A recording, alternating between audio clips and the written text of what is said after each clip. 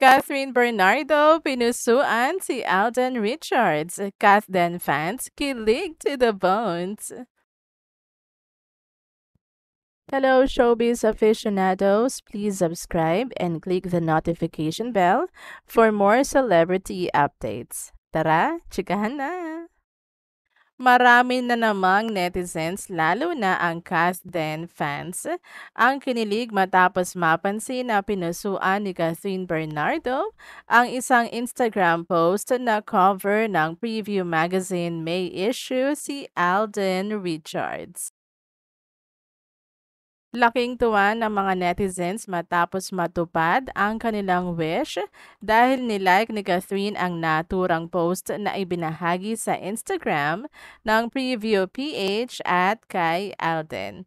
Komento ng ilang netizens, hinihintay kong ilike ito ni Queen Kath. Masayang sagot naman ng iba, nilike na niya.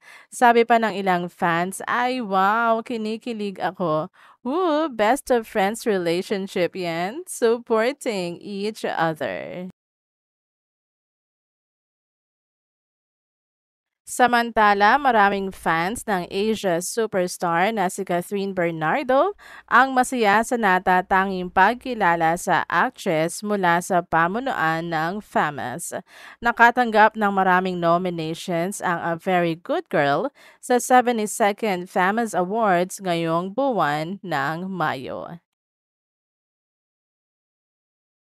Kabilang sa mga nominasyon ay Best Picture, A Very Good Girl, Best Actress, Catherine Bernardo, Best Supporting Actress, Dolly De Leon, Best Director, Peterson Vargas, Best Cinematography, Noel T. Hankey, Best Editing, Benjamin Gonzalez Tolentino, Best in Production Design, Cheska Salangsang, at Best Musical Score, Andrew Tolentino.